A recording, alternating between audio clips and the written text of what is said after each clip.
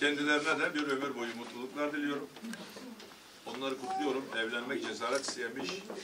Hele bugünkü koşullarda oldukça zor bir iş.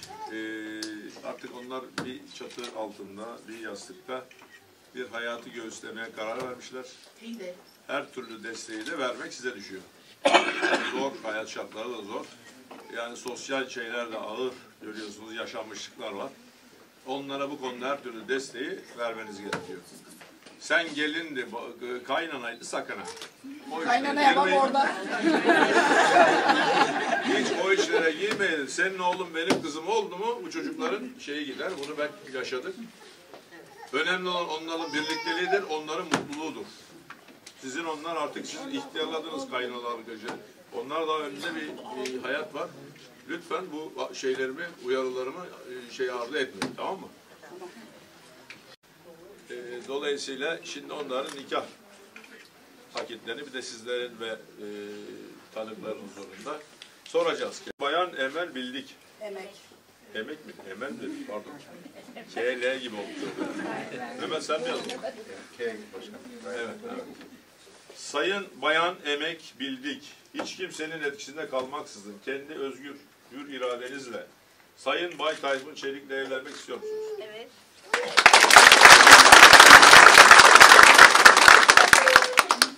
Ben öyle bir yastıkta, iyiliğinde, sağlıkta falan filan demiyorum. Onlar biraz teferruat geliyor. Önemli olan eğilimde isteğinizi beyan etmeniz.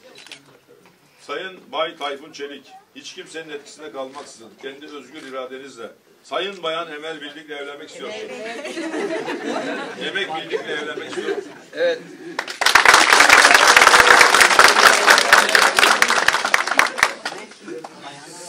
Sev- Sevgili tanıklar, siz de e, emekle Tayfun'u duydunuz.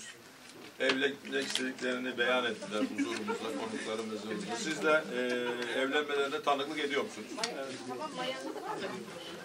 Evet, de teşekkür ettik. Ben de e, Türk Medeni Kanunu'nun verdiği... Dur daha kıymadık, basmadık. Zaten Emek, emek, emek bastı galiba. Ya emek basmış, kız tarafı galiba.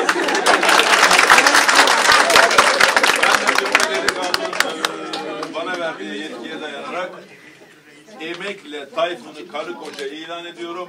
Bir ömür boyu mutluluklar diliyorum. Hayırlı uğurlu olsun.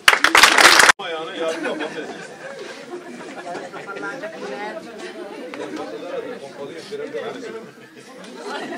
İlk, ilk imzamı atıyorum.